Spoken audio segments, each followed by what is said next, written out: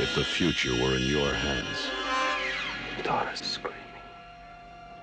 The house is burning. would you change it? Hurry up! It's not too late. Touch this man's hand, and you are in the grip of the dead zone. I've had another episode. Only the imagination of author Stephen King could take you there.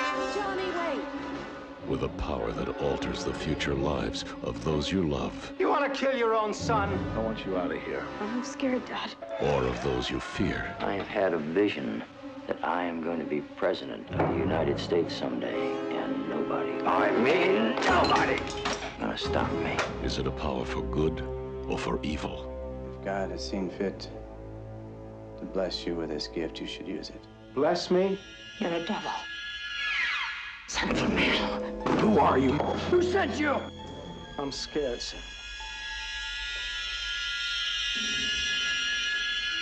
What's happening to me? We're gonna get married. Johnny, don't leave me, please. Don't you see how clear it all is? Not only can you see the future, I can change it. Nelson! Nelson!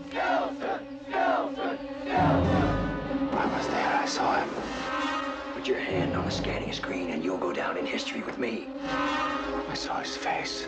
I stood there. I did nothing. Johnny!